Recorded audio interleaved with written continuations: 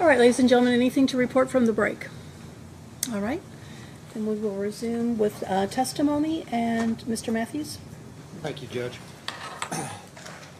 Detective James, you indicated that you volunteered to be a part of this search warrant team on March the 12th, going into the 13th, 2020, correct? Yes, sir. How many times have you participated during the course of your career in the execution of search warrants, approximately? In the, probably a hundred or more, probably hundreds. Have you ever had one that turned out like this did? No, sir. Did you have anything to do with the preparation of the search warrant affidavits or the investigation that led to their issuance? No, sir. You just got a, a phone call or text message asking to you to volunteer, correct? No, sir. It was a email. They sent out an email, I believe. I know at least one email, and then I think somebody. I was in the office one afternoon, and somebody was going around saying that they needed help. Do you remember when that was in relation to March 12th or 13th? I don't honestly. I want to say maybe maybe that week or week before, maybe. Okay, so this wasn't a, on that day, they called you and said, hey, come on out and help us? No. Okay. Um, Now, you said you responded or reported to the CID office, that's on Ormsby, correct? Yes, sir. And when you got there, there were quite a few CID personnel people there? Yes, sir. Do, do you know everybody in CID? Mostly, yes, sir. Do you work with a particular unit? I do. Which one is that? I work um, under the airport uh, interdiction unit. Um, uh, they deal with the parcel packages. Um, and then I actually was assigned to the highway. It's actually a, a, it's like a dual interdiction. They do the airport stuff, and then I did the highway stuff. Okay. And do you usually or frequently work with other unit members from different CID units? Not as often. My job was kind of unique. I, I went in and worked with the sheriffs more than I did our own unit most some of the time, not all the time, but I did help out some somewhat. Okay, now you indicated that when you got to the CID office, there, that was where the briefing took place before you went out to Springfield, correct? Yes, sir. And you mentioned something about packets are put together for each location. I believe there was packets out. Yeah. What would, what's a packet? What, what would be in a packet? Uh, it would be like uh, the location, maybe like a map overview, um, mm, pictures, uh, any kind of intel they would have, um, things like that. Do you recall seeing any map overview um, or pictures of 3003 Springfield? I don't remember going through the packet. I saw, I believe, a packet for it, but I didn't go through it per se, like page by page or anything like that. Did anybody ever tell you the physical layout of the building at 3003? Uh, I believe that, yeah, they said it was an apartment complex, I believe. Did they ever go into any more detail? Did they tell you apartment four is, there's another apartment right behind it? Uh, I don't recall that, no. Okay, so when you got there at the CID office, there's a whiteboard up there with everybody's assignment on it, correct? Yes, sir. Did you have anything to do with choosing your assignment? No, sir. Did you know all the guys that you were going out with? On, on with my group, yes. Yes. And you testified that your understanding was that the search warrant was for money or dope being stored there, correct? Or, yes, or both. Do you know, and I'm going to jump ahead here, but do you know whether the search at 3003 Springfield Apartment 4 was ever completed by CID? No, sir, I don't believe it was. Um, Do you know how it got changed from a no-knock to a knock and announce warrant? No, sir, I don't. You didn't have anything to do with that, correct? No, sir. Okay, You testified that Mike Campbell was at the, at the location already, I believe he was, yes. and he was the eyes-on or the VO, Yes, sir. and what was, his his function was to what, report anything that he saw unusual? I, yeah, I believe so. And to your knowledge, nothing unusual was reported? I wasn't, nothing was told to me. So you all went out to the staging area at a church, where was that church? On Manslick Road, I believe. Is that Just near- r- real close to the location, about I want to say maybe a quarter mile away or a mile, maybe. No, I don't know. Not very far. You testified that there was an ambulance on standby at that location, correct? Yes, sir. And I believe I heard you say that that is usual when there's a search warrant being served. Yes, sir. Have you ever had occasion to need an ambulance? Uh, yes, sir. And why is that? Uh, because uh, people were shot, uh, officers were shot. Is that something that happens on a regular basis? Uh, it happened one other time besides this with me, uh, where I was, I wasn't involved in it, but the SWAT team was executing a warrant, and one of the members were shot uh, executing that warrant. And and that's, that's why you keep an ambulance close by, correct? Yes, sir. Okay. And and for the people that we're serving the warrant for too. In case somebody there is injured during the course of that? Yes, sir. Now, you got, you you testified that Jamarcus Glover was the primary target to your knowledge, correct? Yes, sir. How did you learn that? Uh, because of the briefing, and then on the board they had some names up, I believe, up on the board, on the side of the board there. While you all were staged at, at the church, you were waiting to hear word that people, that, that the search warrants on Elliott were, were in progress, correct? Correct. And then you got the word, and that's when you all started up toward Springfield. Yes, sir. I believe you testified that there was a Toyota Sequoia parked right in front of where you wanted to basically stage, or, Pretty much, yeah. It was parked there. But it- was it occupied to your knowledge? I don't know. I, I can't testify to that. I don't believe it was, but I can't say hundred percent. You indicated, that- did you have a specific role in this? I, I had that shield that uh, I had. I was. I was. I had the shield. Okay, and the shield is, you called it a ballistic shield, right? Yes, sir. I assume that's to stop bullets if they get fired at you. Yes, sir. How, how is it that you were not at the head of the, the stack to go into the apartment? Well, I was. That's why I was on the corner, uh, sitting. Not, I wasn't in front of the rest of them. Uh, Sergeant Manley was knocking, and and then uh, when the door came open, he just, you know, stepped, took a step in, and I I couldn't get in front of him, and he already drew. You know, he was already shot. And, and you immediately attended to, to him? I tried to get him to cover. I was trying to get him to me. Did you see him returning fire? I did. And you saw Myles Cosgrove returning fire? Well, I didn't know at the time it was Myles, and I didn't really see it. I could hear it, and I could see somebody's feet right there, and then Jon, Jon or Sergeant Mattingly being right here.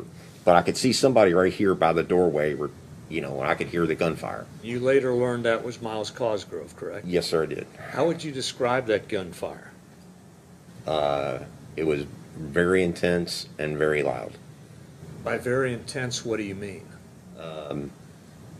very rapid, and extremely loud. We were in that alcove, and it magnified the sound of the the weapons. Do you have any idea how many rounds were discharged? I mean, I know now, but at that time, I was trying to, you know, not really. I was like, man, is that eight, ten? I mean, it was just a lot of successions of, of gunfire.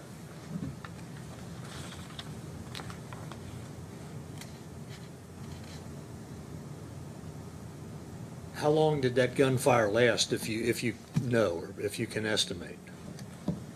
I mean, it was seconds. It wasn't like forever. It was, you know, it was like,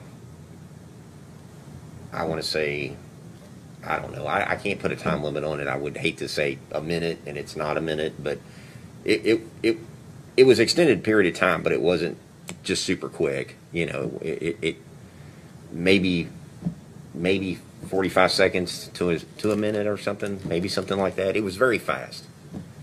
But you don't know for sure. I can't put a time limit on it exactly to, to testify on the time.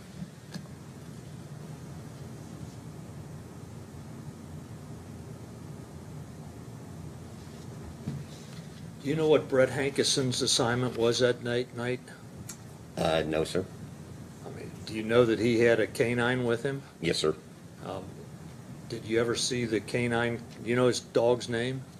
Uh, yes, I do. Uh, If I told you Franklin, would that ring a bell? yeah, absolutely, yes, sir. It is, Okay. Franklin. Um, did you ever see Franklin out that night?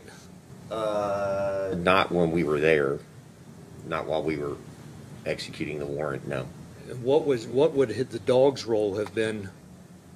Uh, once the location was secure, Detective Hankinson would have ran the dog in there to search for contraband. Was Detective Hankison also expected to participate in making entry and securing the location? Yes, I believe so. He was with the rest of us there. Okay.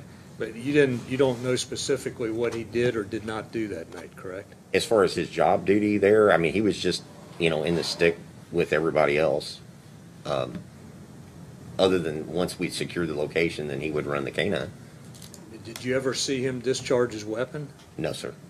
Did you see him engage with the fellow upstairs? As far as talking to him, Yes. yes. And what was that all about, do you know?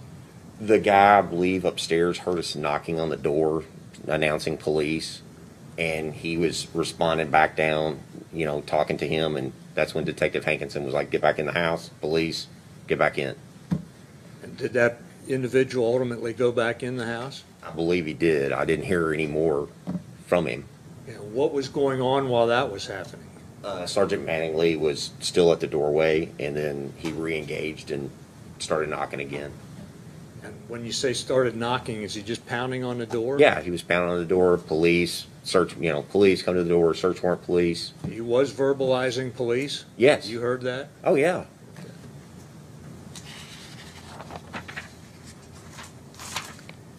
Now, I think you testified that as soon as Mike Nobles hit that door and it came open, do you know how many times he had to hit it? I believe he hit it three times. Okay.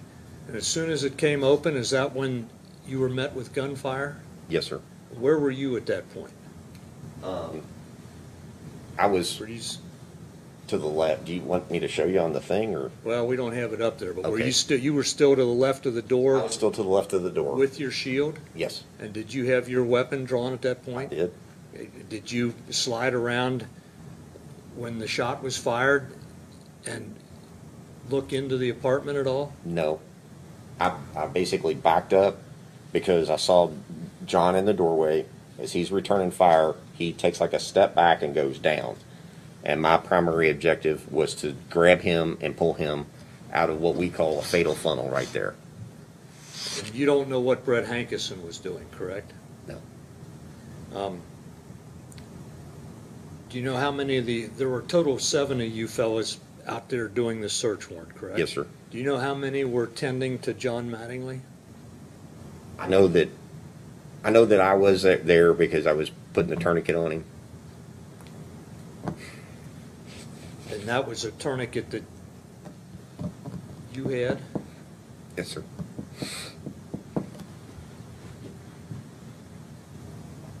Was, was Jon saying anything at that point? Uh, I think he was, you know, he was kind of in shock a little bit, you know, and saying I'm I'm I'm hit, and uh, that was about it. You know, he was still kind of trying to get moving. Um, are you are you meaning about when we got him outside? Was Yes. he saying anything? Yeah, he he was he was talking about how much it was burning and hurting. Um, and then I had to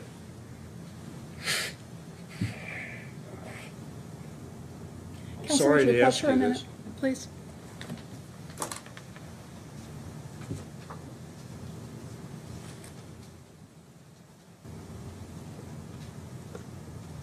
Well, my little button's not working. Um, we seem to be spending a lot of time talking about Mattingly. This trial's not about Mattingly, nor is it about his injuries, nor is it about what he said, because he's not going to testify. So, um, we've gone through this now with a couple of witnesses. We know how he was shot. We know about him being, you know, the tourniquet put on him and being transported and taken in an ambulance. I think we need to get back to talking about Mr. Hankison and apartment three. Okay?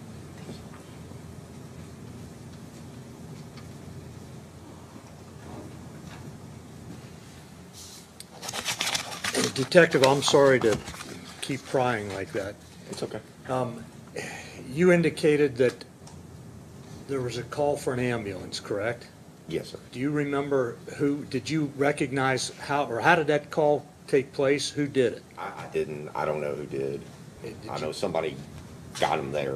You didn't hear Brett Hankison call, is that correct? He could have. I, I really don't, I don't know who did. Okay, did you hear Brett Hankison go on the radio and tell the first responding officer to ram the gate? I heard somebody saying ram, ram the gate, ram the gate. Uh, I didn't know who that might have been, but I do know that somebody was telling them to ram it. And, and your testimony is that you don't know particularly what Brett Hankison did that, that evening, correct? I, I know he was with us, and I know that, like I said, that originally I thought he was at that doorway, and I found out later that he wasn't. That I guess he was in the parking lot in that area over in there.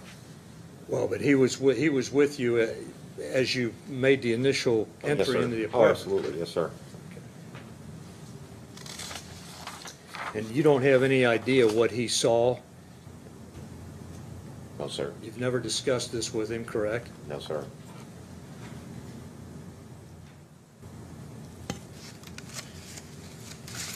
You have nothing further. Anything on redirect? No, Your Honor. All right, you can step down, thank you. Thank you, Your Honor.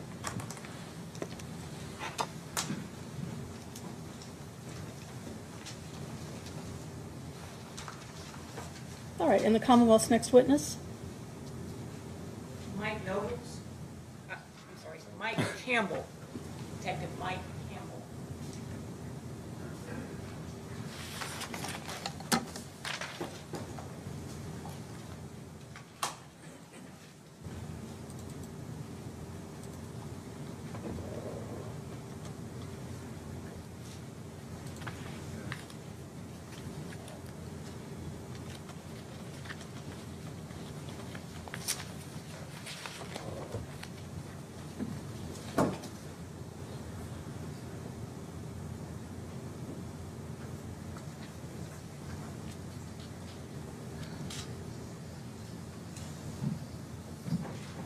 If you go ahead and take a seat, please.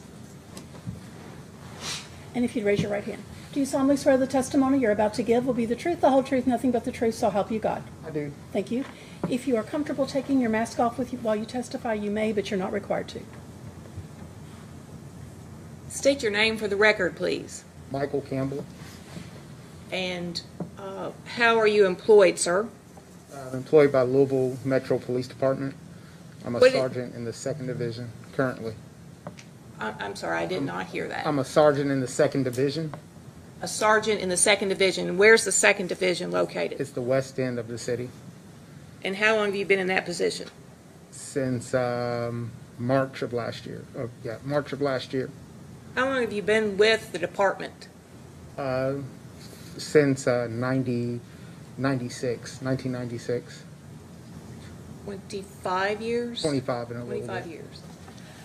And um, so you've held various positions during all those years. Yes, And during all those years, have you had occasion to serve search warrants? yes. Uh, Many search warrants? A few, Few, yeah. Not as many as some people, but a few more than most. yes. Uh, In March of 2020, what was your position? March of 2020, I was uh, a detective on the PBI squad in the interdiction division. Place-based Place-based- initiative? Yeah, place-based investigation. And uh, who was your sergeant? Uh, My sergeant was Kyle Meany. Ky- Sergeant Kyle Meany? Kyle Meany, yes. Okay.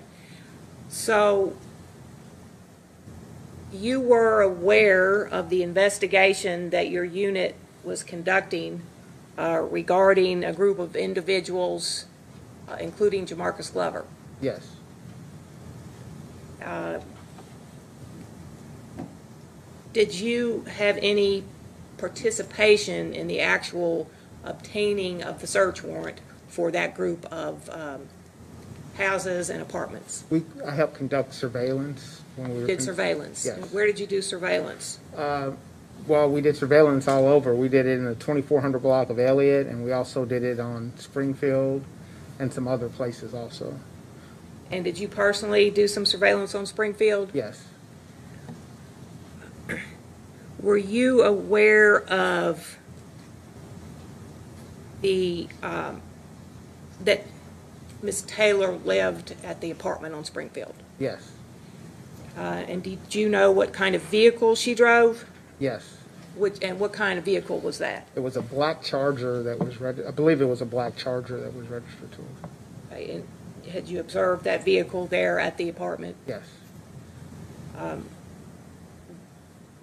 And what kind of ve, or, uh, do you know what kind of vehicle Jamarcus Glover drove? At the time, it was, a, I believe it was like a red, a red Charger. Okay. Now, um, were you assigned to participate in the search that was taking place that night of March 12th? Yes. And which address were you assigned to? Uh, the Springfield address. And did you attend the briefing? No, um, I was the, I was the eye, so I went out there prior to the briefing to see if anybody was coming or going from the address, So you went, you were the eye, meaning you were ahead of everybody else. to go early to survey, do surveillance on the uh, apartment Yes. or the, the complex. And so what time did you go out there Um, to I don't, Spring, to Springfield Drive? uh, I'm not really hundred percent sure. It was, I believe it was nine, about nine PM. But you had been out there previously, you said, Yes. doing surveillance, so you were familiar with the building um, and the surrounding area. Yes. Did you uh, see anyone leave the apartment, uh, that breezeway into apartment four during the time you were out there? No. Or any cars, anybody leave? No. Did you see anybody come back No. And enter the apartment? No. Okay. And at that hour, it, it was dark. It was getting dark. Yeah. Getting dark. It was dark. Did you see uh, the, the car that you believed belonged to Breonna Taylor? Yes. I believe it And- was out there. And where was it? It was uh, parked on the same side as the apartment, but it was a couple of spaces down from the breezeway. And so you didn't see anybody get in the car, or the car didn't move? No. Right. At what point then did you, well, where were you parked to do the surveillance? Uh, I moved several times. Uh, at one point, I was parked on Springfield at the end at dead ends by a dumpster. I parked there for a while. Other times, I parked up. It's like terraced, so I parked up and looked down. I was out there for several hours, so I moved several times. And did you have communication with the other members of the team that were going to execute the search warrant? Yes, by phone. And um, how did you meet up with them? Uh, when they when they arrived to do the search warrant, at that point I was parked down by the dumpster, which is where Springfield dead ends, and or takes a turn. And as they came by, I just met up with them as they came by. So you met up with them as they were walking up to, As they were driving up, and then we oh, parked. you drove your vehicle and met Right. them? And then what did you do? Uh, we we got out of the the vehicles and we approached the apartment. As you walked up to the apartment, what, uh, what was the order of people walking up? Where were you, where were you in that? I was toward the back. Um, the first person, first couple of people were like um, Anthony James, then Sergeant Mattingly. Uh, somewhere in there was uh, Mike Nobles. He was in front of me. Um, um, Lieutenant Hoover was there also. And um, trying to think who else. Um, um, To show you what's been entered as Exhibit 19.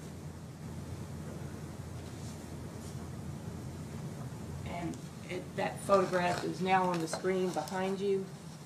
And if you would take the laser pointer uh, and point out where, So, how you approached the uh, stairway and, and the entryway there.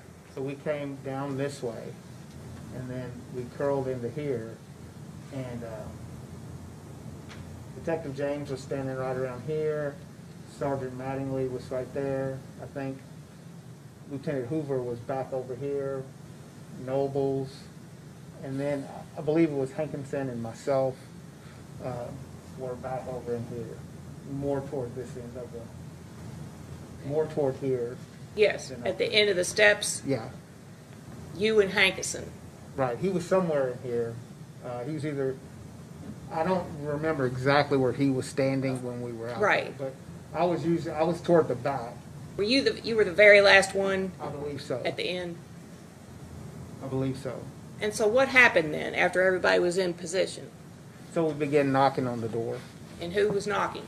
Um, I believe it was, um, it was, I believe it was Sergeant Mattingly that started off knocking.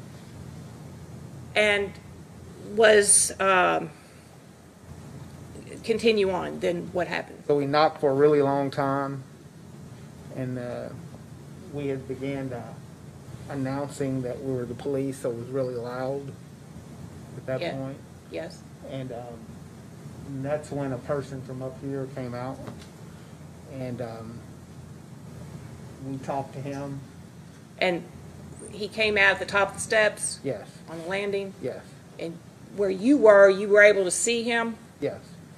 And who began engaging with him? We all end up were engaging him, but um, um, um, Detective Hankinson um, got him to go back in. What did he say to him? They were just really, uh, he was really assertive about going back in. They were loud. I was trying to keep an eye on this this door, I mean this sliding door, and that door, but everybody was yelling at him. And then they had a a, a confer- they had a loud confrontation, and he went back in. You said Hankison was more assertive with him? Yeah. You And he was remember- the one who finally got him to go back in. He's the one that finally got him to go back in. Right. Uh, Then what happened?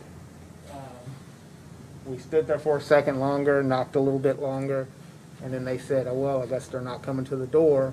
And then um, Detective Nobles hit it with the ram. And um, I think that's Lynn down here somewhere. Hit it with the ram and br- hit it two or three times.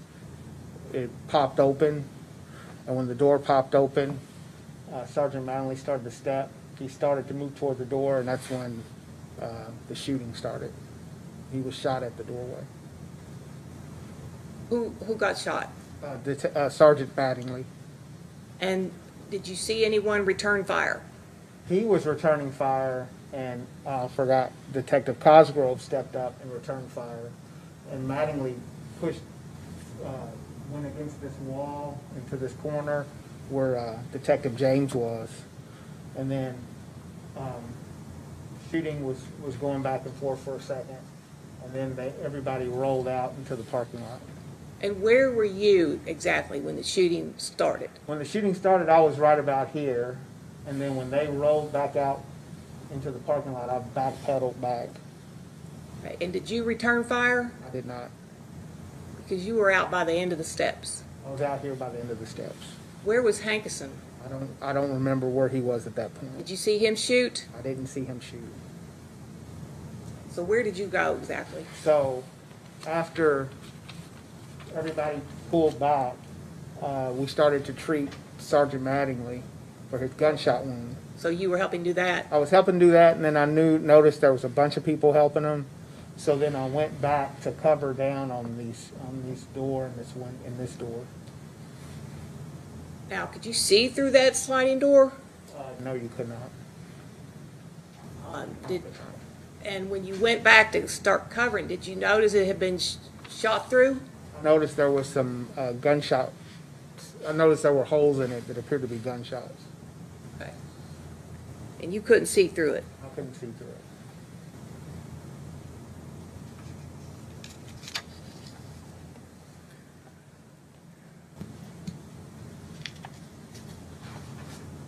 Ultimately, uh, you left the scene Yes. and um, you went to Public Integrity Unit correct, and uh, you were interviewed. correct, And that's protocol. right.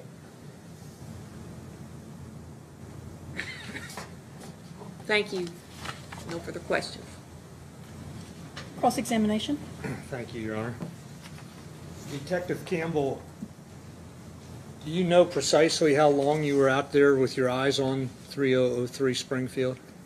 From about, from about nine until uh, around 11 or so when we executed the warrant. Okay, And, and you didn't see anybody come or go during that time, is Didn't correct? see anyone come or go. Do you recall seeing a white Toyota Sequoia parked? That was the person who went up to the top. It was, he pulled up and he went up there. I didn't see, I believe that was, it was the one that was double parked. It was a white vehicle double parked out here and that was the person who went upstairs. I didn't see anybody come or go from, from our target. Okay, when did the Sequoia arrive? Maybe ten or fifteen minutes prior to us executing the warrant. Okay. Um, But they went upstairs and it, that wasn't, Was that the same individual that came out I believe so. and everybody engaged with and tried to get him to go back in? Correct. And you said Sergeant Hankison was, was very assertive in getting him to do that, correct? And he ultimately did go back in? He ultimately went back in. And then you described how there was knocking and announcing on the door? Correct. Do you know how long that knocking and announcing occurred? No, it went, it went for a long time. It went longer than we normally do. Um, Can you tell us what, what would be normal? normal would be maybe, maybe eight to thirty seconds of knocking and before we get any response. This went on for a while. It went, we knocked for a while. Some time passed as we were knocking and it got louder and louder and louder. Then that person came out.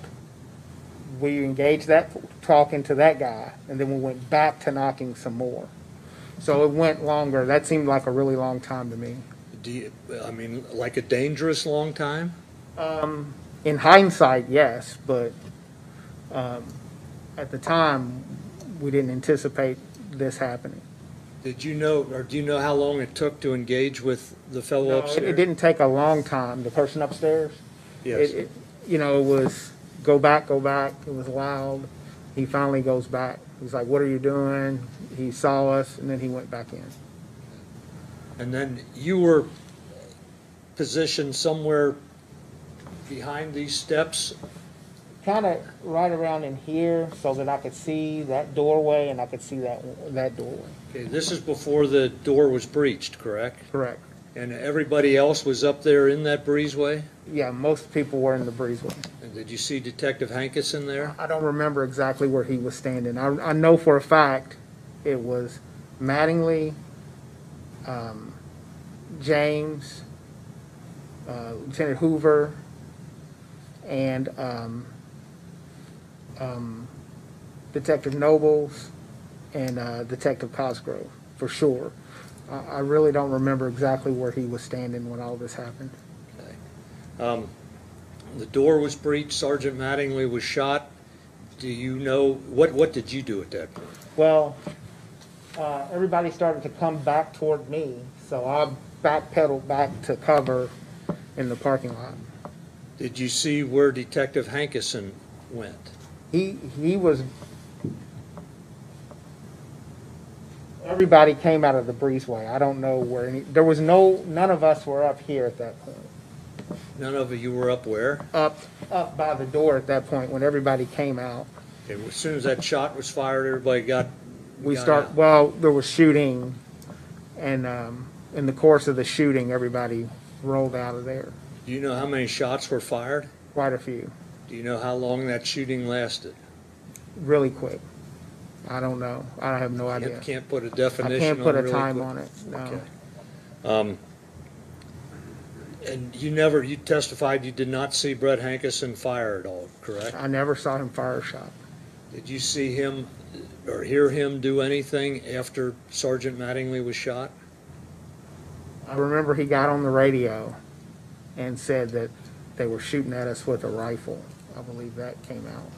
And then, um, we all covered down and, uh, covered down on the, the, the building, the apartment. And, uh, we held it and then, um, um, when we made contact, he, uh, uh, he talked to Walker and got Walker, he, he got Walker to come out. He gave him directions when he came out. Okay, when you say when we made contact, you're referring to contact with Kenneth Walker? Correct. And you know now if Kenneth Walker was Breonna Taylor's boyfriend at the time? Uh, that's what I'm hearing now, yeah. And he's the one that fired the shot or is believed to have fired the shot? That's what, what we later found. And, and you just testified, what did Brett Hankison do with him? He, uh, well, he gave him directions as he came out. How did he do that? Can you, He was just giving them commands to come out, hands up, turn around, that kind of, just surrender, surrender instructions. and, and meanwhile, what was everybody else doing? Well, some people were treating uh, Sergeant Mattingly as he was leaving, trying to get him out. And I guess that, by that point, I think he was gone. And everybody else was covering down on the building. Okay.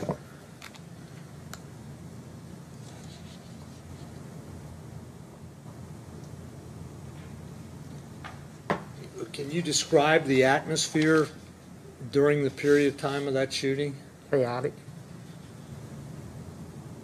What do you mean by that? It was a lot, like, so, you know, an officer was shot, so there were tons of police coming. Uh, we were trying to get Mattingly out.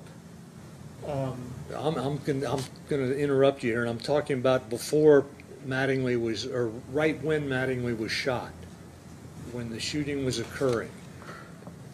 What do you mean, like, what was the atmosphere? It was a, Yes. it was a shooting, so it was a, it was a lot of gunfire going on. Okay, and, uh, can you describe, was it loud? Yes, it's very loud. Thank you, I have nothing further. Anything else of this witness? No. All right, you can step down, thank you.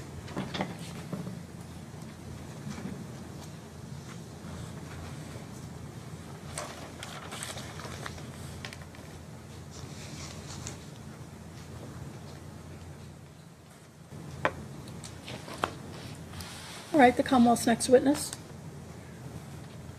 Sergeant Jason Vance.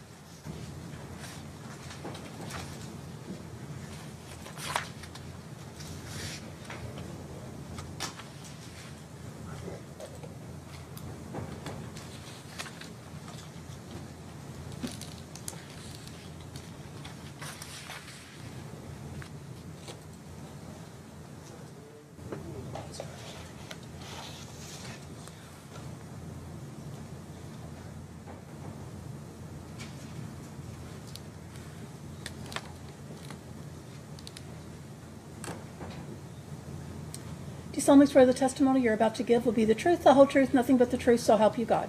I do. Thank you.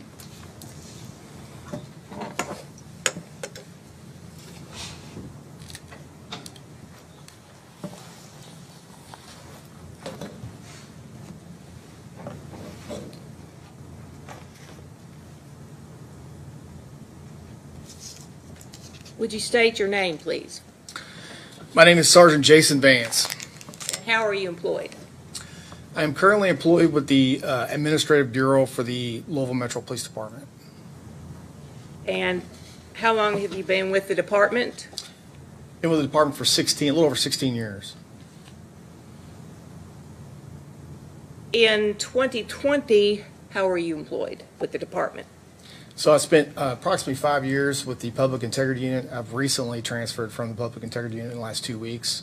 Um, It's a unit within uh, Louisville Metro Police that the primary function or responsibility of the unit is to investigate officer-involved shootings, uh, but they're also tasked with investigating all crimes or alleged crimes by any Metro government employee. Public Integrity Unit. Correct. And on March 13th, 2020, did you get notice of an officer-involved shooting on Springfield Drive? I did. And is that uh, specifically the address 3003 Springfield Drive? 3003, yes. And is that location in Jefferson County? It is.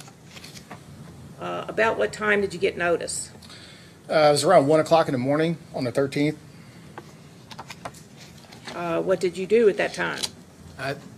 Just a routine response to an officer-involved shooting. The lo- um, MetroSafe Communications would uh, communicate that uh, each in- in- investigator within the Public Integrity Unit to respond to whatever location uh, the officer-involved shooting occurred at, which is the same in this case. Um, You respond, uh, and you typically get briefed when you arrive to the location. So you did arrive at uh, 3003 Springfield, Yes. and what did you, you said you would get briefed, was someone there to brief you? Yeah, so typically the way it works is that, you know, uh, people, investigators respond not all at the same time, you know, just from, you know, some people live further away, you know, just there's lots of variable or um, variables involved in that. So what we do is the first PIU investigator that gets on an officer involved shooting, uh, they try to ascertain as much information as they possibly can. And, and then they're required to, as the rest of the investigators uh, arrive to the scene, they would brief uh, the unit as a group of people. Um, and in most cases, uh, a lieutenant, the lieutenant of the, or the commander of the public integrity unit would then assign a, a lead, and we go on a rotation, kind of like a homicide a rotation, homicide unit rotation. Um, and if you were next to uh, have a critical case, then you'd be assigned as the lead, and and then that person um, could divvy out responsibility. So they could say, you know, I want you to do my scene, I'm going to do this, whatever. So everyone has a task to do uh, after that briefing, and they know it. Now, had the scene been secure since the shooting occurred? Yes. So there were people on scene constantly after the shooting, once patrol arrived and then SWAT cleared the apartment building, or the apartment. There was members of LMPD on scene from the moment the shooting occurred until I arrived. Yes.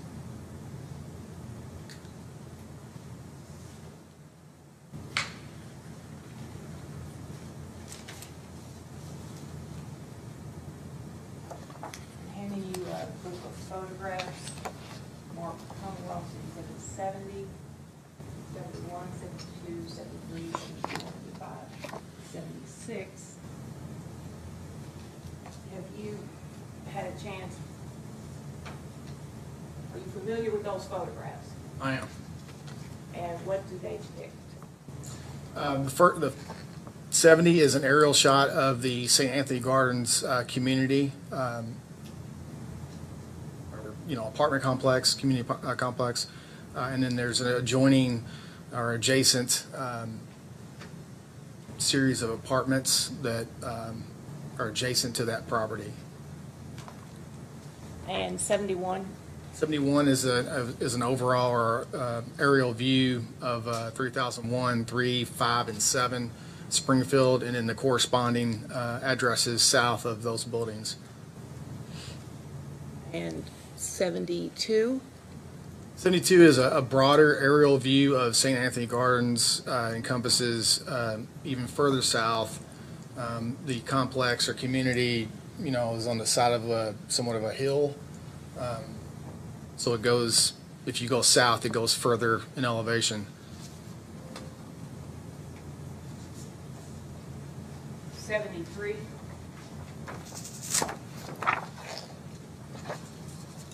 It's an aerial view of uh, 3003 Springfield Drive.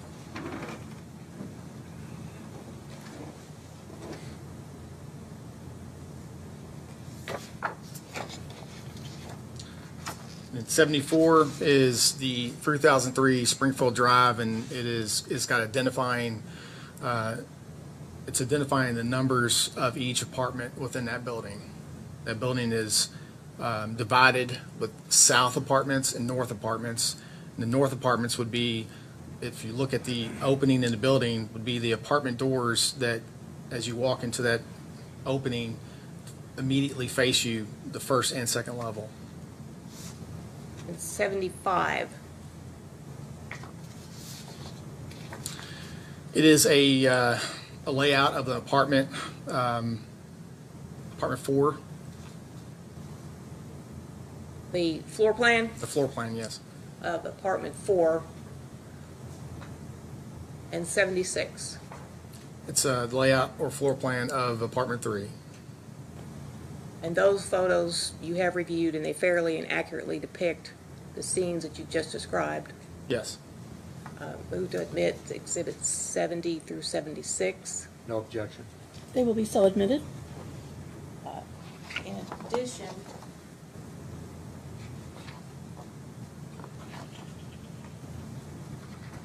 if you would uh, direct your attention to the posters with, uh, uh, leaders. Those have also been marked, and you have had occasion to review these posters. Correct. Um, Are those enlarged posters of the exhibits that you just testified about, 70 through 76? Yes. And um, those have been marked 70A, 71A, 72A, 73A, 74A, 75A, and 76A.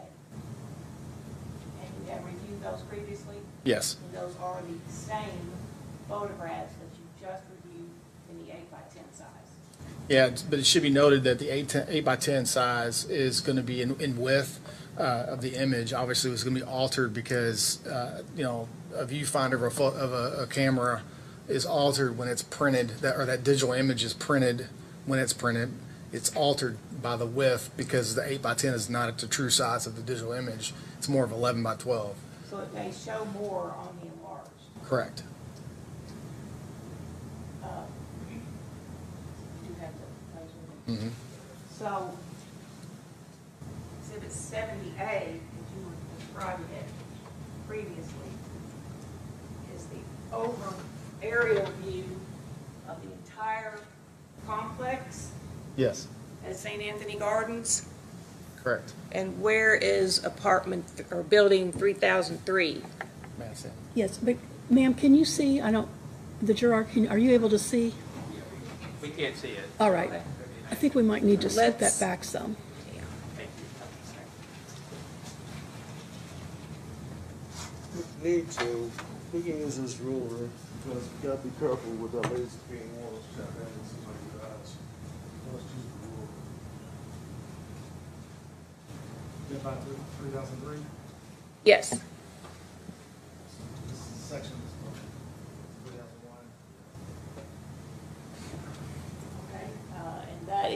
70A. Now could you flip that poster over the top and tell us what 71A is showing? It's a, it's a not as broad aerial view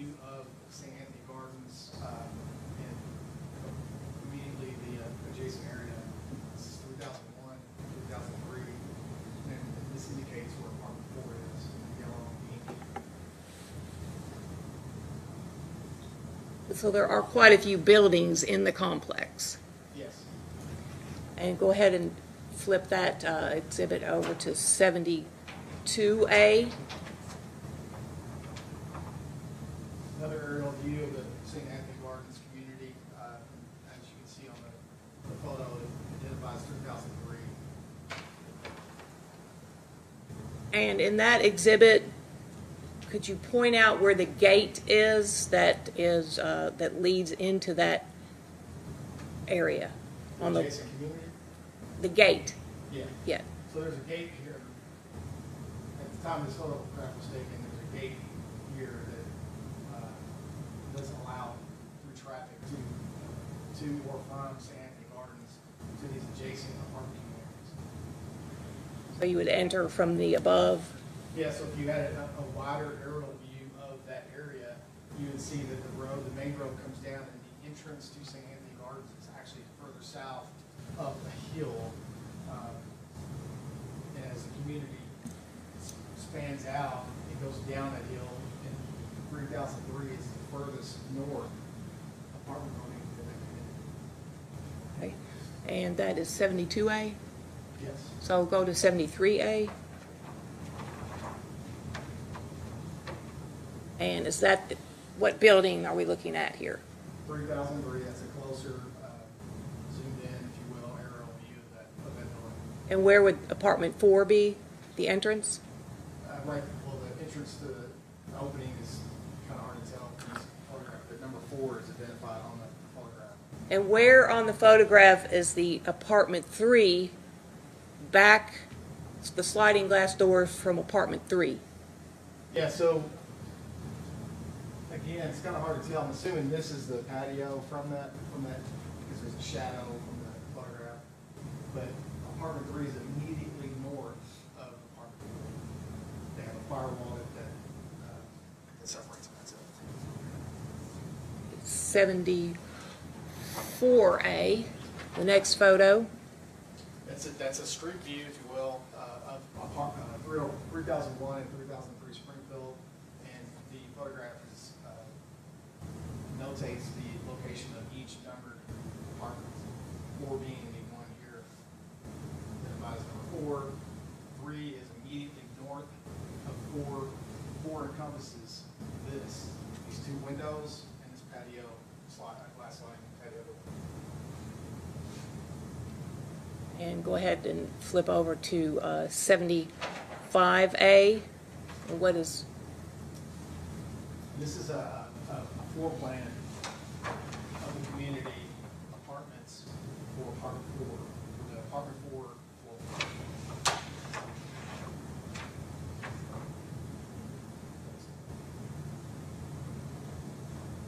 So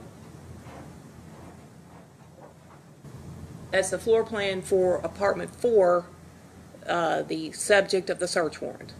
Correct. And where is the entry, the front door there to that apartment? Yeah, so the common entry point would be the front door, obviously, and it has one common entry point, three more possible entry points. Sliding glass door here from the patio that's, uh, kind of subdivided from the, the sidewalk, but it's on this, you know, it's, it's almost in the same plane of concrete. Uh, then you have two windows in each bedroom.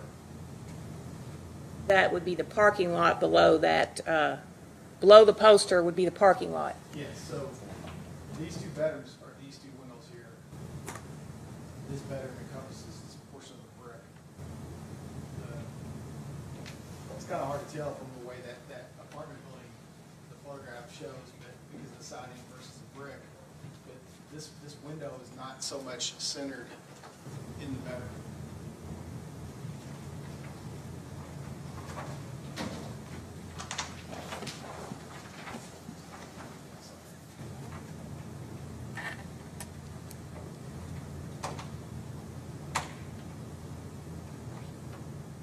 This is seventy-five A. And again, the front door to apartment four is where? It's in the opening, the common area opening of the two-story apartment building. So go ahead and point it out on the dot, on the, This- right this there. indicates the entry doors. Okay. And then seventy-six A, That is a, a floor plan for apartment three. Um, This indicates where the, uh, pa- the concrete patio is, with the glass sliding door. And in relation to four, so this entry door is here, this entry door three is basically perpendicular to entry door four, indicated in this, this, uh, layout. So entry door four, uh, for apartment, uh, four would be perpendicular to this door. But there, this is an apartment layout immediate north of apartment. and where's the common wall? Common wall would be indicated as in the thicker black, uh, you know, indicating that's a wall. It's typically called a firewall because they try to, when they, they build structure like this, they try to, you know, prevent fires from expanding from one apartment to the next. Okay, you can have a seat.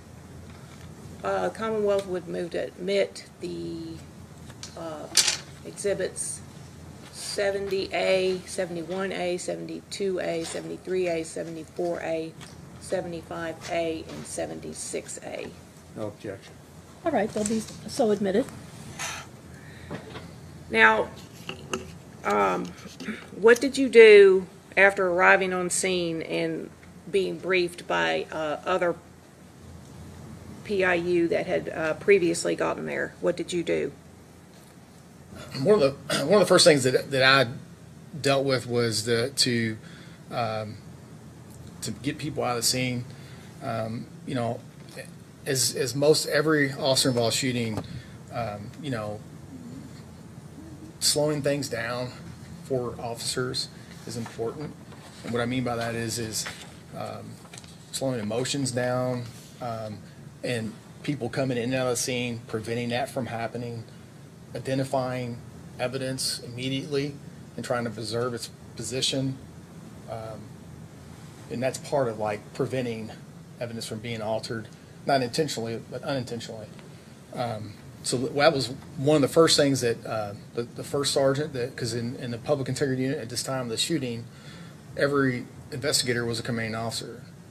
Um, That is, that was uh, Sergeant Lee's was initial um, job was to do that as well and to ascertain as much information as he could. So when I arrived, um, that's one of the things I, I started helping him with. Um, sergeant uh, Anthony Wilder, another sergeant in the public integrity unit, assisted me with that. Uh, we re, we repositioned some um, uniformed officers to points that you know we wanted to keep people out of. Um, and, but we also were still trying to assess what happened. So we had apartment four and we also had apartment three. Uh, and we also had an issue of like, we wanted to make sure that no one else was hit in other apartments. So we had to go to other apartments, or not necessarily me, but um, I assisted in making contact in apartment three just because it was an obvious um, that ballistic pro- or projectiles had entered that apartment. Uh, so I made contact along with uh, Sergeant Roof and Sergeant Lane with the, the uh, occupants of that apartment.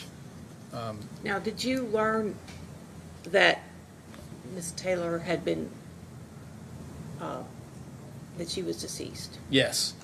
I actually got, like I said, a further briefing uh, on scene uh, from Sergeant Wilder, because Sergeant Lee uh, left almost, um, hi- him leaving the scene coincided with me arriving in some, in some Okay, so- duration. So you did learn that? Yes. And did you actually, on scene, speak to Ms. Taylor's family? I did. Um, while we were trying to, to uh, get crime scene unit technicians and, and just resources to the scene to start, you know, our, our responsibility, which is in documenting what happened. Um, I was notating vehicles uh, that were at, uh, parked in front of the buildings uh, on that side, on the 3003 side. Um, And I was alerted, actually by an LMPD officer, that members of the Walker family were to the to the east of the um, the scene. So I made I made contact with them, uh, and in the process of uh, speaking with the Walker family, um, they had contacted Breonna's mom by phone, um, and she was to report. You know, she was on her way to the scene. Um, that contact with the Walker family was audio recorded. Uh, I went back to documenting the vehicles, and when Miss Taylor's mom, uh, Miss Palmer, arrived to the scene, I went back to that same location where the Walker family was at, uh, and you know, I had a a tough conversation with her about um, you know the condition of her daughter. Um, so, and there was a lot, you know, obviously there was some emotions involved in that. Um, but I, I we explained to her kind of what the process was. We gave her the uh, the name of the coroner, who's going to oversee the case. Um, we offered um, chaplain. We have deputy chaplains that are volunteers for our police department uh, from from almost every faith. Um, we offered shelter because it was it was kind of chilly that night. Um, we have canopies. Uh, crime scene unit uh, has canopies we could have provided them shelter with. Um, But there was no doubt, it was clear that Breonna was still in that apartment, um, deceased. It was a very hard conversation. Once the crime scene unit arrived, then did you begin processing uh, apartment four? And Yes. collecting evidence? So not immediately processing inside, um, but we, we began our process, our scene processing with the exterior scene, um, for obvious reasons. I mean, there, that's a, that's a scene that you can less control, if you will, because you have people living in a community that have to go to work, they have to, they have obligations, they have to leave, and you can't necessarily, um, you know, unless it's directly going to alter evidence, you would not necessarily be able to stop them from leaving, going to work and whatnot. Um, but most ev- most everybody that, that we that I had contact with was um, willing to cooperate in any way. Um, so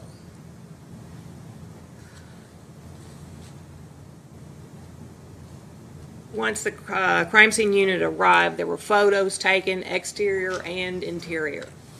Yes, so uh, Have you had a chance to review um, those photos before coming to testify today, which have been marked Commonwealth's Exhibit 1 through 69?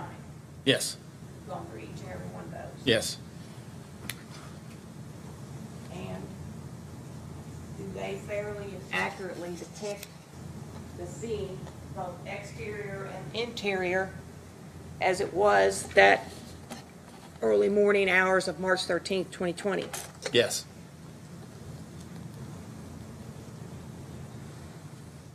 So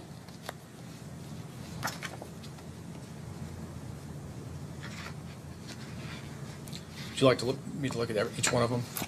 look through them quickly.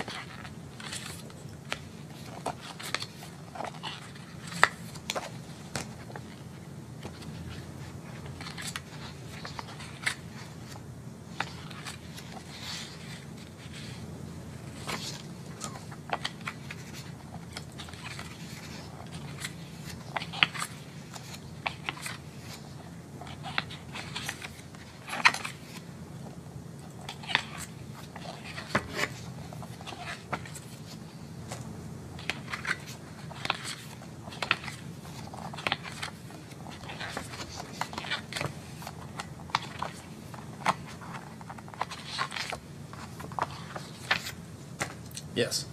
Okay. If you would now turn your attention to the screen behind you, and with the pointer, do you have the pointer there? And this is Exhibit 1. Would you explain what we see here? So this is apartment four, and this is the opening to the first floor apartments and the second floor apartment, apartments. Um, There's this, you can't see it in this photo, but there's a white Sequoia, Toyota Sequoia, that's, uh, belongs to the brother of this, uh, the person that occupies this apartment eight. Um, That you later learned was Mr. Sarpee? Yes, Aaron Sarpee, he was the civilian involved in this. Okay, Go ahead to Exhibit 2. Exhibit 2, Just a, a, a clear picture of the same picture. I believe the street light may have turned on, uh, or she may have changed her photography. The same three thousand three Springfield, this indicates apartment four right here. and still seeing the Sequoia over on the right-hand side, Correct. the grill of the Sequoia. So Exhibit 3, So this is a further east photo. This is the white Sequoia that belongs to Aaron Sarpee. This is uh, Sergeant Jonathan Mattingly's police vehicle.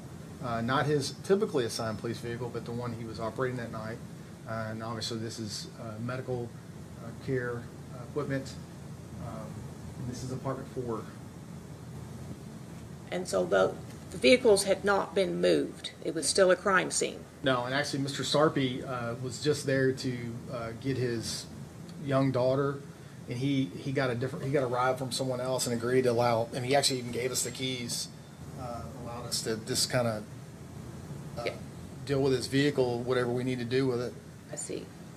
Exhibit four? This is a, uh, an east to west view. This is apartment four here. This is the Roto Rooter van's actually Mr. Sarpee's brother's, uh, Stanley. Uh, his brother is his business van. Uh, and this is Sergeant Mattingly's vehicle, police vehicle. Mr. Sarpee's, um, Toyota. This is a LMPD Mark unit. It's the Mark unit that was inside the scene, um, when we got there. And this, again, this is three thousand three, apartment four, behind this van. Go on to exhibit five. This is apartment four. This is how we, we observed the entry door into apartment four when we got there. Uh, this is apartment three. As you can tell, they're perpendicular to each other. And now, once more, would you uh, step over to the easel and uh, flip over from Exhibit 76A and see if that is Exhibit 5A? No, you would be going forward. You would flip that over. And is that Exhibit 5A? Yes. That's the same photo that we see on the screen? Yes, as you can see, it shows more of the. So uh, we would move to exhibit, admit Exhibit 5A at this time. No objection. It'll be so admitted. Go on to Exhibit 6, please.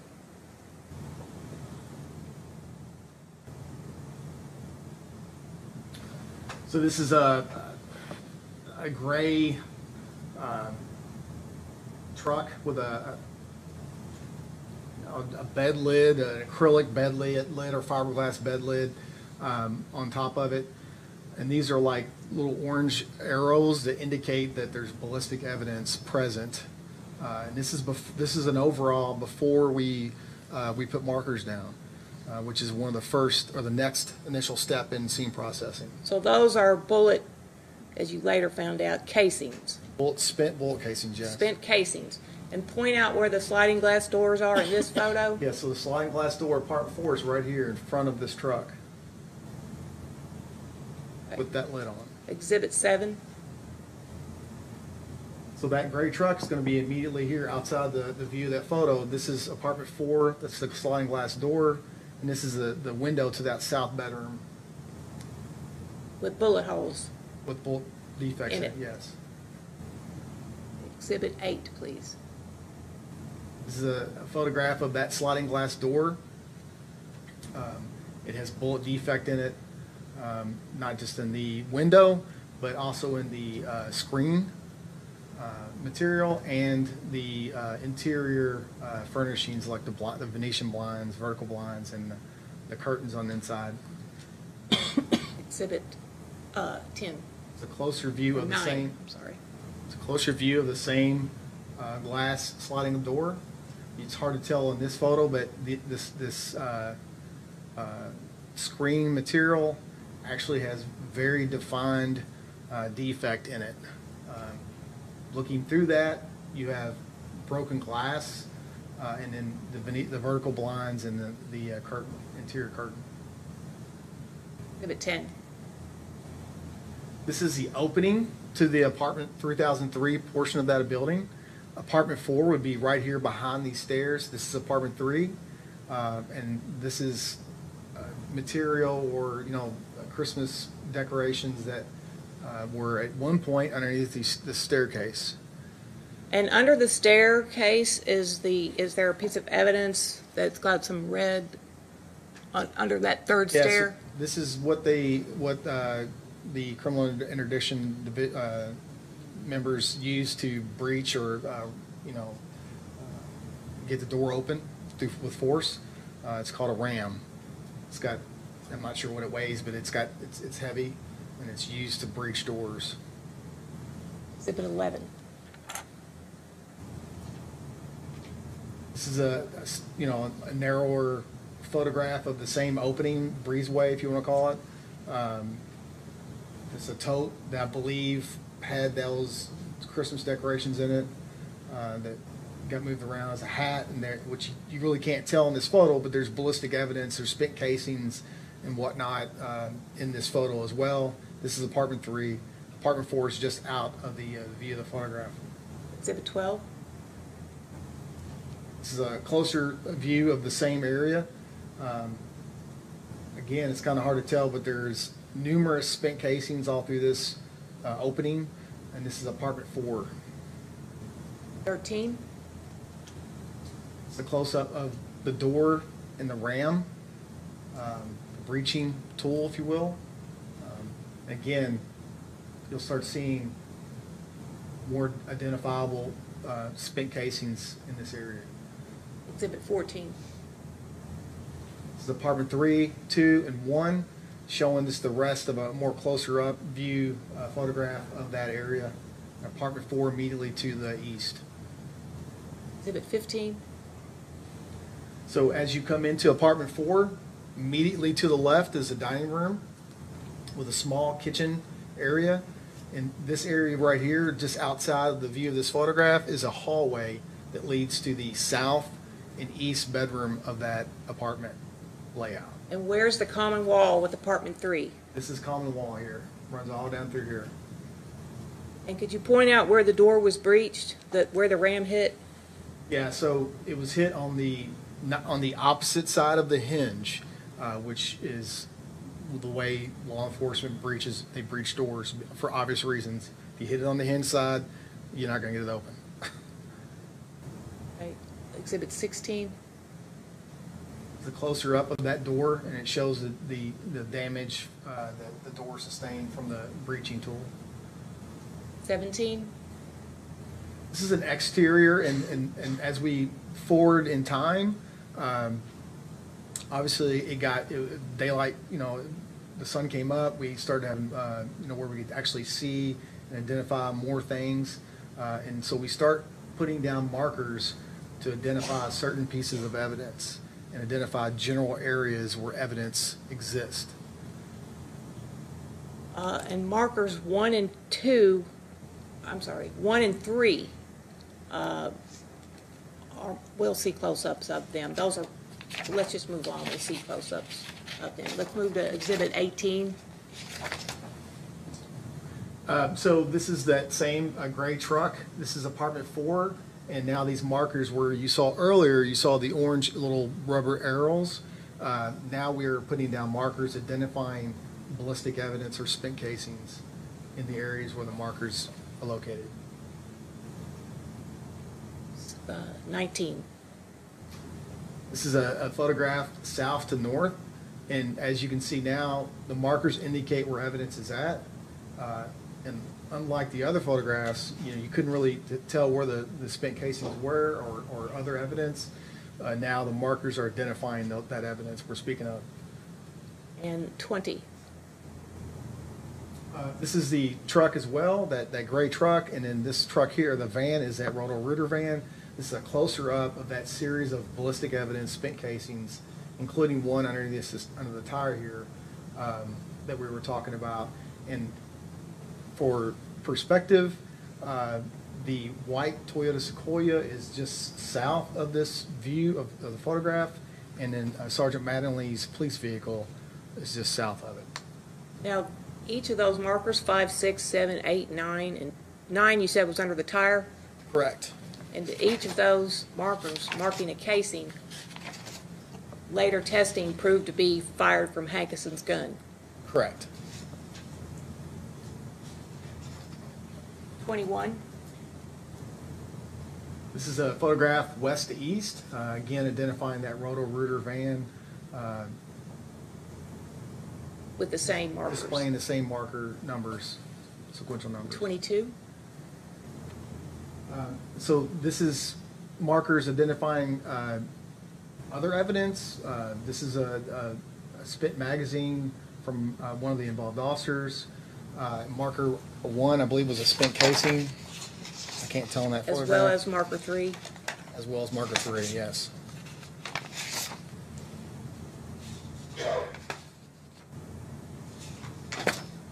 Those casings as well, uh, later testing showed to be fired from Hankison's gun. Correct.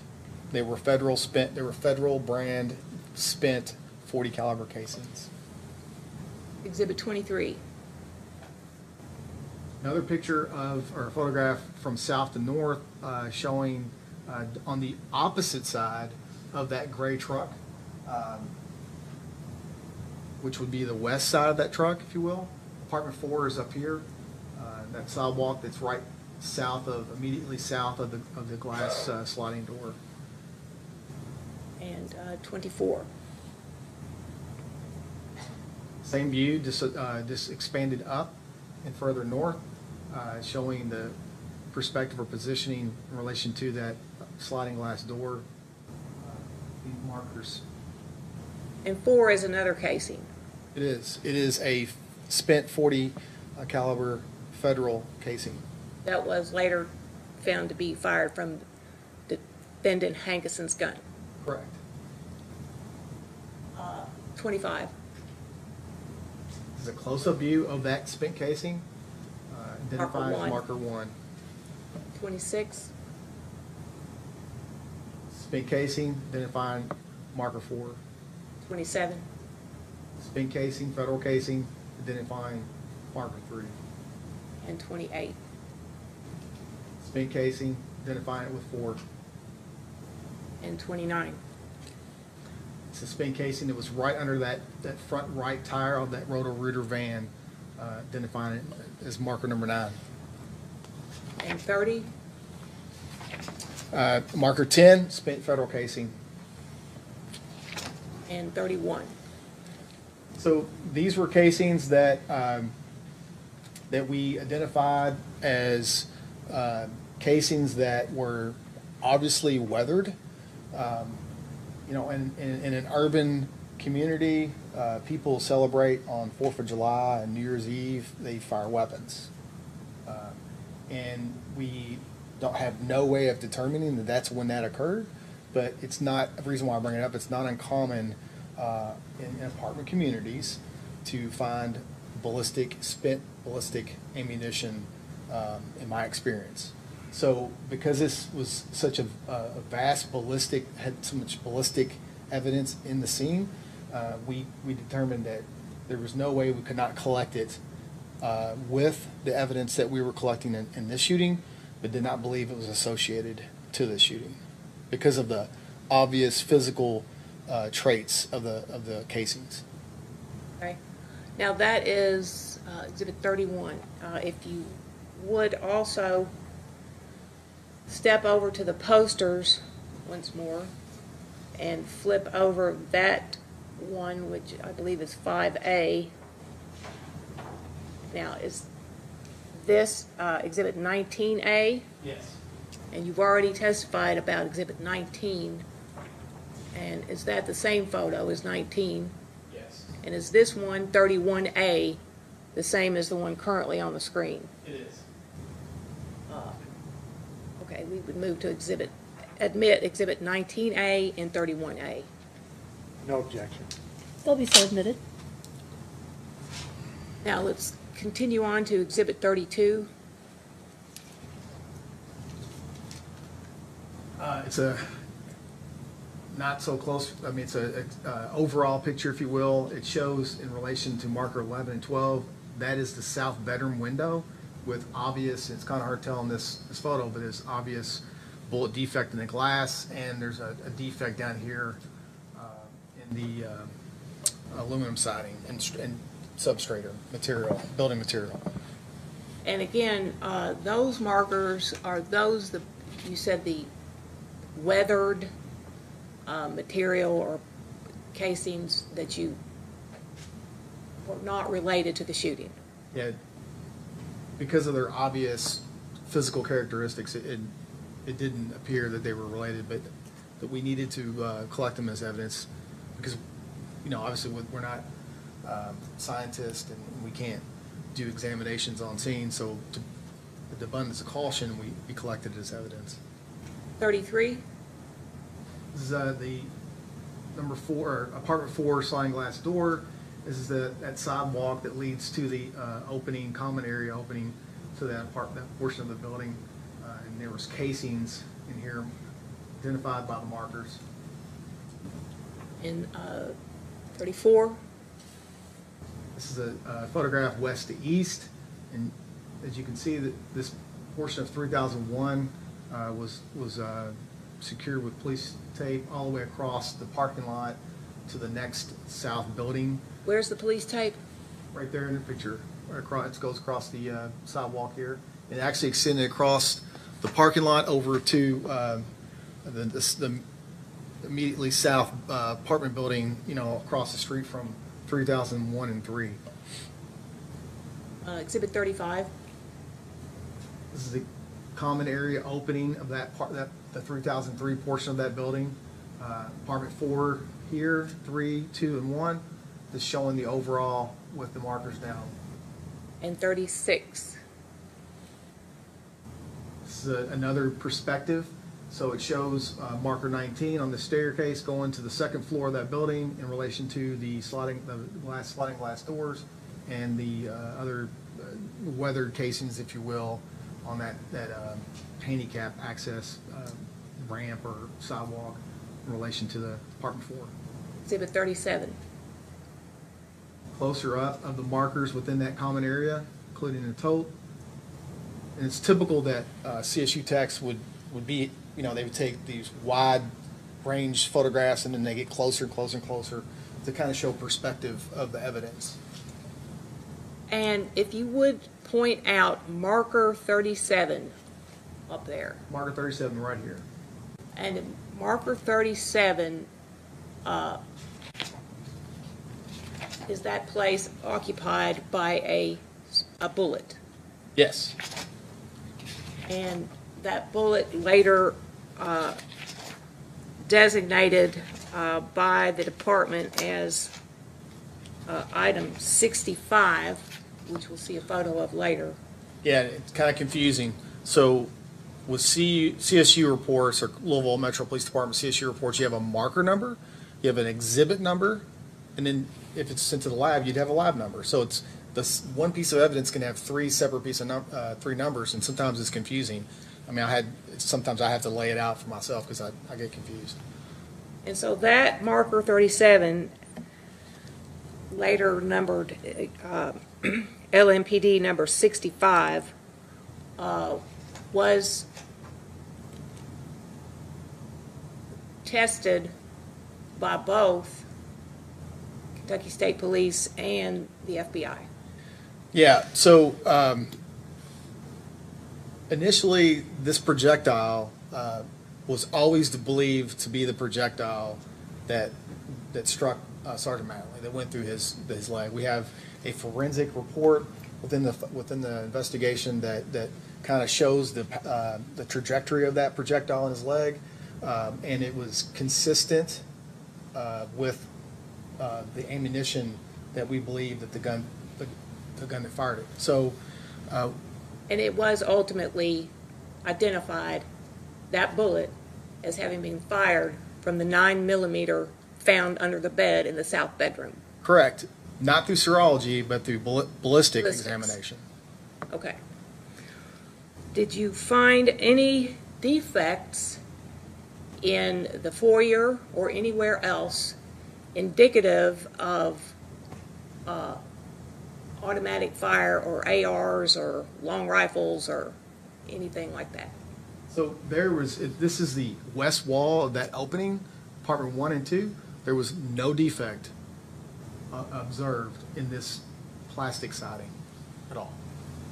What about inside the apartment? No defect.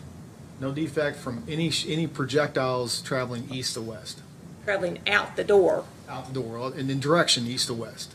and that is the only bullet, that item, or marker 37, that was found that was identified as having been fired from that gun in, the- in the apartment under that bed.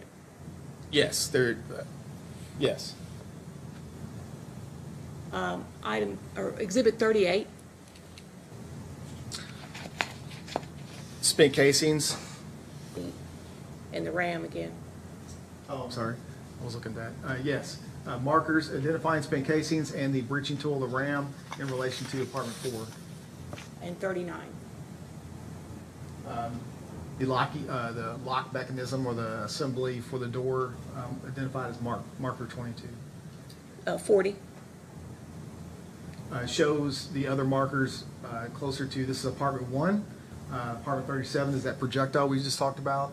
Um, and then it just shows the relationship in that of the markers to the ap- apartments. Remember, it's two, three, and it's four. And these were all, all these other markers, 26, 27, 28, 30, uh, 1, 2, 3, 4, and 5, and 6. Were those placed there to show where casings were retrieved? Yes, where spent casings were located at. Spent casings? Yes. And did later testing all show that those, all of those spent casings were fired from the guns of Mattingly and Cosgrove? Yes. Exhibit 41. Uh, entry door to apartment four, obviously there's a cell phone there, marker thirty-three, and then spent casings in the remaining uh, marker numbers. including 39, Yes, also a spent casing. correct. 42, Uh, Marker thirty-six uh, shows the strike plate uh, of of the lock assembly or door assembly um, of the entry door to apartment four. And 43, This is a closer up of marker thirty-seven. This is the projectile that went through Sergeant Mattingly's leg. and 44, This is the opening to, uh, entry door to apartment four, showing the perspective of these markers, the cell phones, and the marker thirty-nine and the foyer of that door opening. and that's a casing at 39, Correct. which was identified as either Mattingly or Cosgrove's, Correct. And 45, This is the south bedroom w- window, um, showing the defect in the glass and defect in the aluminum substrate or, you know, um, trimming, trim, whatever, uh, the window. Um, And each defect has a scale in it, showing its size. 46, This is a projectile that was located, it's marker 47, was located in the south bedroom um, dresser. that was on the other side of the window we just saw. Yeah, yeah, so it's, if you went through that window, it'd be in, the- it- there's a dresser on that, the wall that separates the south and east bedrooms.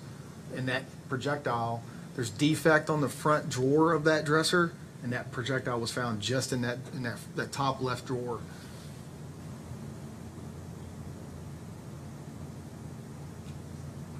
Uh, 47. Marker 47 is. Uh, Well, and also, we're now going to Exhibit 47. Oh, I'm sorry. This is the uh, glass sliding door, uh, and this is a closer up uh, photo. And, and and some of the glass had fallen too, so it makes it easier to see in the photograph by this time. Is that the, this net or the screen material uh, showing the different defect in the, the screen material with the scales next to it. And just for perspective, this goes into the living room area, apartment four, traveling south to north. How many bullets were determined to have been fired through the sliding glass door into the dining room, either the dining room of apartment four, the wall of apartment, the common wall of apartment four, or into and out of apartment three? I'm sorry, I, I How didn't many hear the first bullets part. total went through this glass, sliding glass doors? Five. Five.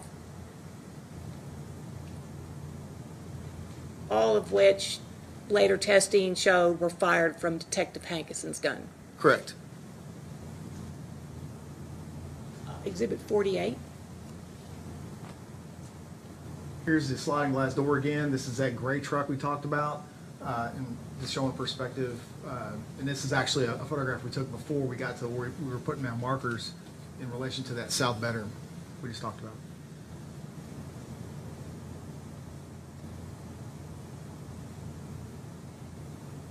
Forty-nine? This is the hallway.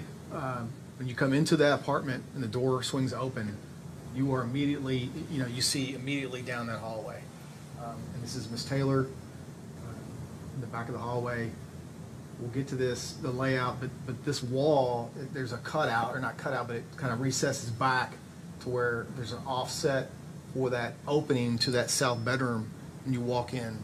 Uh, And then the master bedroom, if you will, the east bedroom, is that opening we can barely see here. Um, And there's a bathroom and a utility closet uh, to the left here. So the south bedroom that we saw is to the right Yes, uh, of, of Ms. Taylor. Correct. The doorway the is to doorway. the right. There's a, there's an offset, so the ha- hallway comes down here, and because there's a closet in that south, may I stand up? ma'am? Can I stand up? Because there's a closet in that bedroom, there has to be an offset to allow for that closet in that bedroom, um, which is why the way it's set up this way. So you would have to turn right, and it'd be, I mean, maybe a couple feet, three feet difference as you would go, come into that, the opening of that bedroom. And where is the doorway to the east bedroom, which is Ms. Taylor's? You can barely see it, but you can see the striker plate there for the, of the door, uh, knob, uh, assembly, uh, but that's, that's it right there. And then there's a wall there at the end. Yeah, so at the end of this, the hallway, on, in the exact, on the opposite, the opposite side of that wall, there's a closet that is in that east bedroom. Okay. Uh, Exhibit 50, This is a, a photograph from north to south, uh, taken from the, if you were standing next to the dining room table, uh, looking towards that, that, uh, glass patio door. This is the living room area.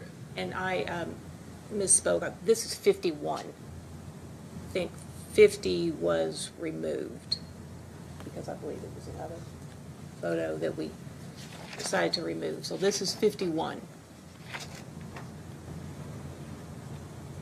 Now, those drapes, uh, on the other, s- or if you pull the drapes back, the the vertical blinds are there?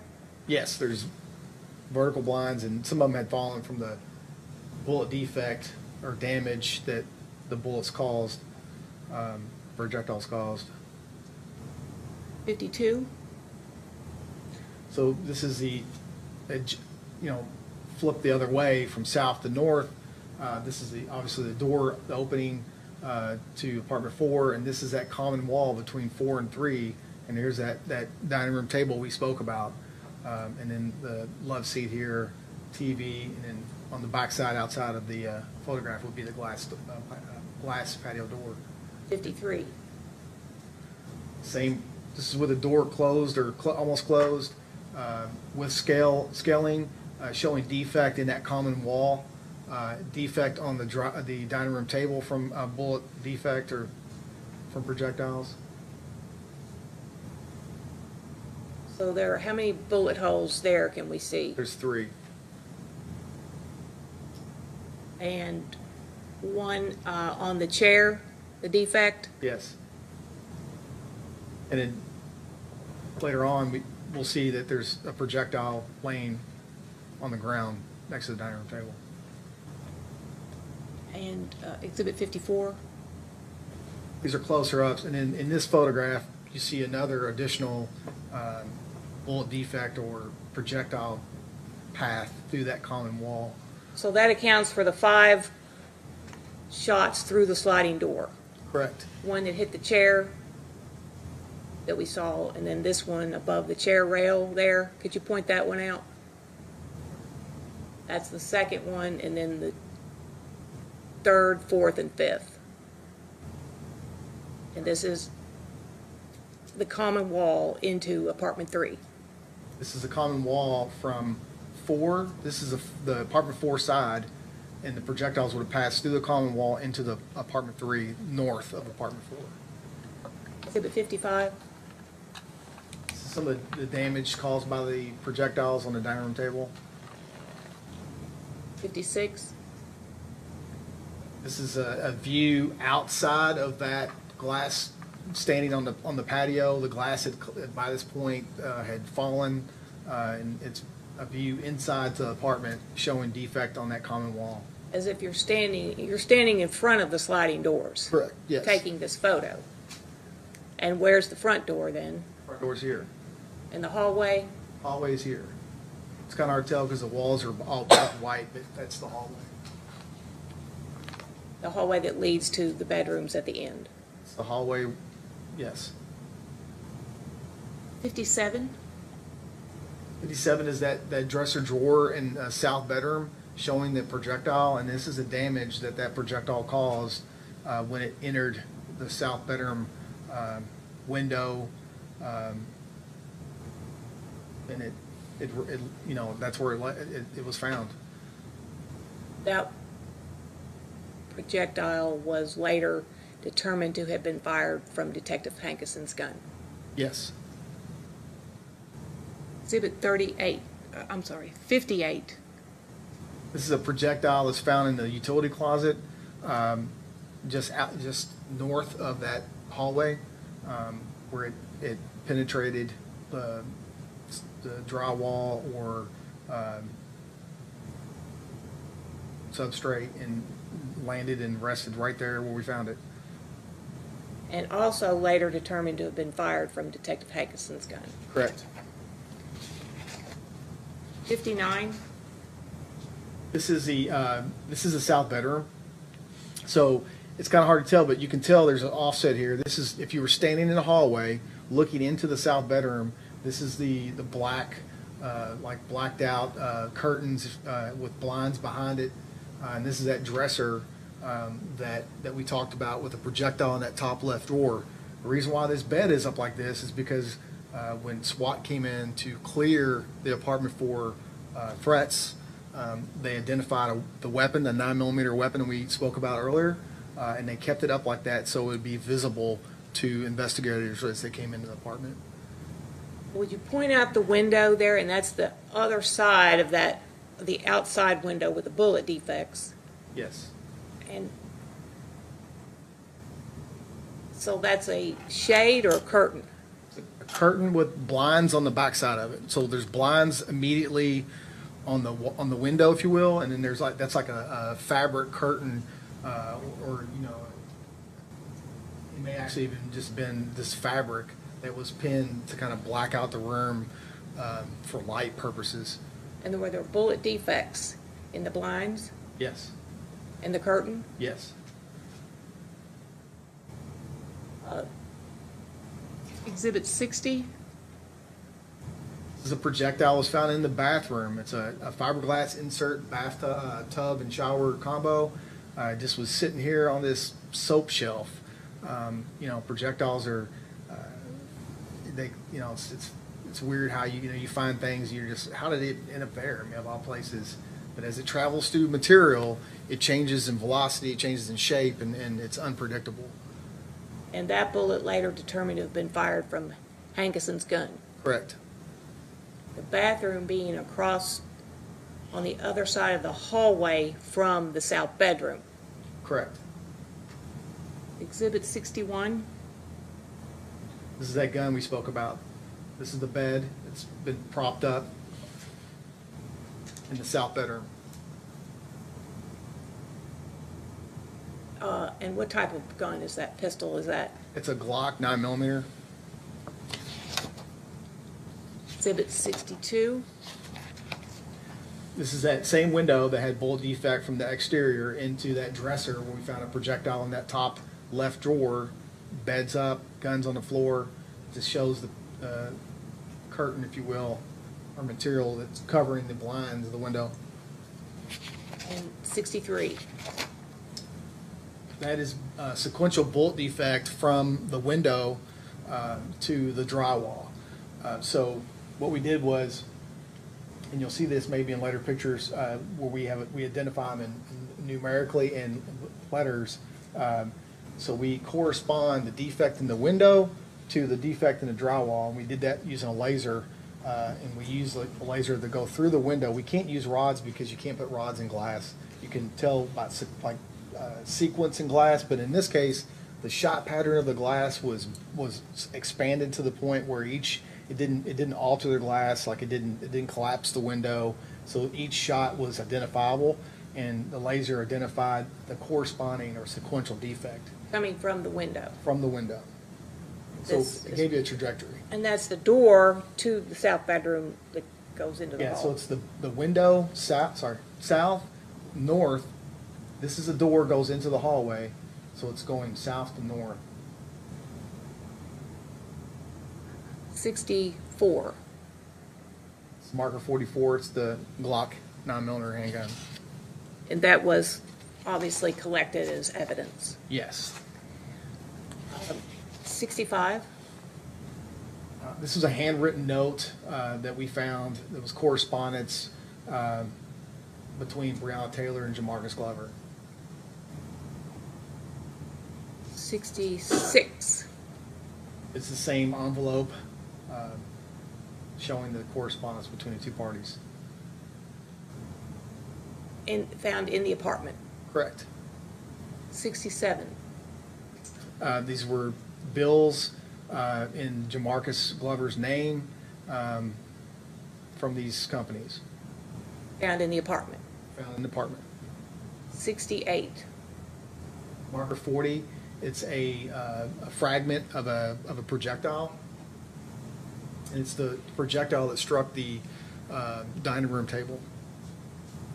That we saw earlier that hit the chair and then, uh, was found on the floor, Yes, right on the floor, right next to the table.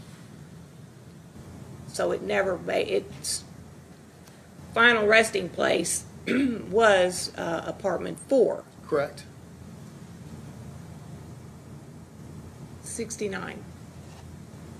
This is a, a further back view or wider expanded view of marker 40. It, it's really hard to tell where that, that, that fragment is, but it shows a relationship between the table and the, and the marker number.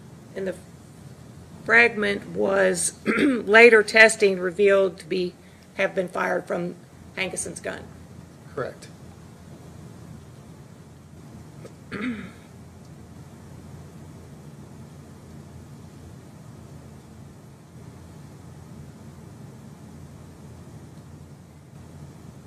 We have, um,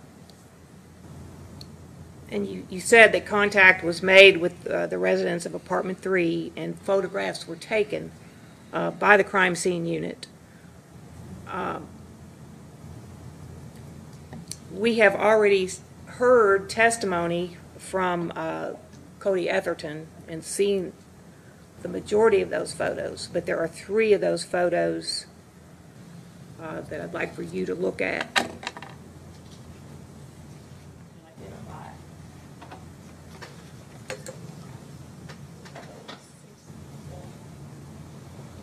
Handing you what's marked Commonwealth's Exhibit 106, 107, and 108. So 106 is a photograph of the living room area of apartment three, showing def, obvious defect to that, that glass, uh, storm, uh, glass sliding door.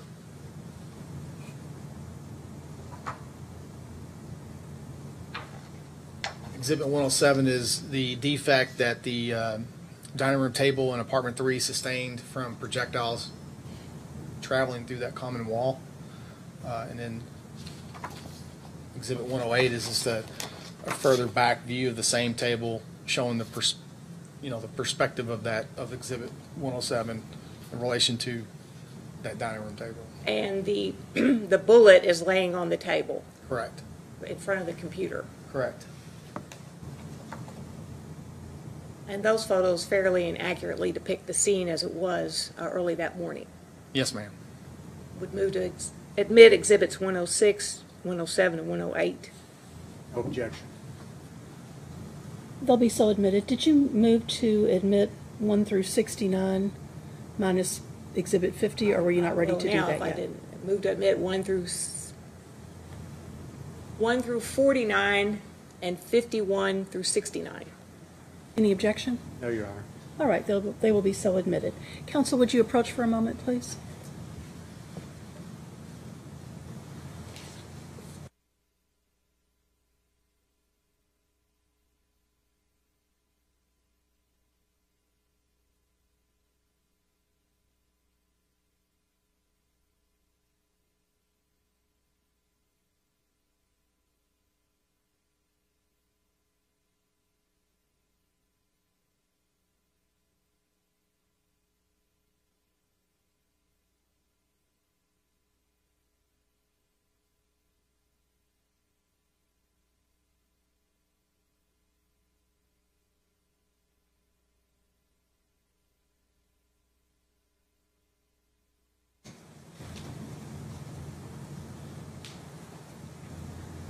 All right, ladies and gentlemen, we've had a pretty long day, heard a lot of testimony. I think this might be a good time for us to go ahead and recess for the evening.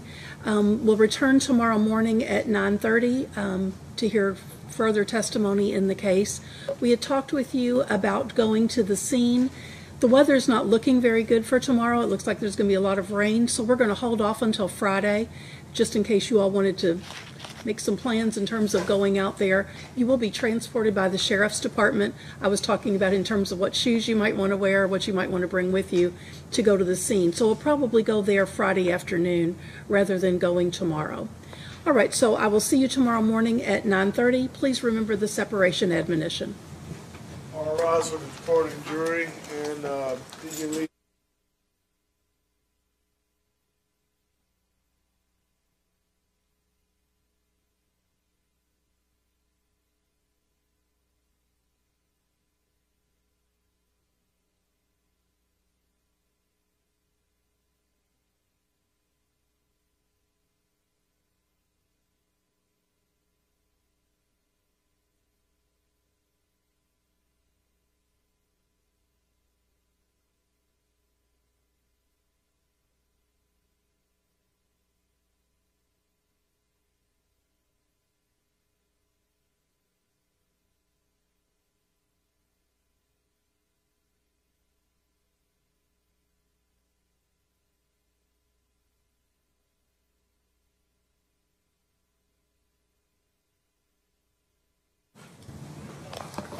And you can step down if you'd like, um, and then we'll see you back tomorrow. Please don't discuss your testimony with anyone since you are still on the witness stand. Yes, ma'am.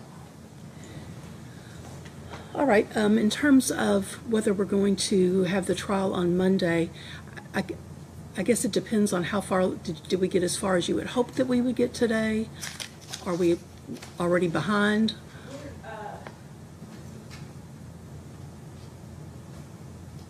We're, we're actually just a little bit behind. There were, there were two very short witnesses that would testify after, uh, Lieutenant, Vance. Uh,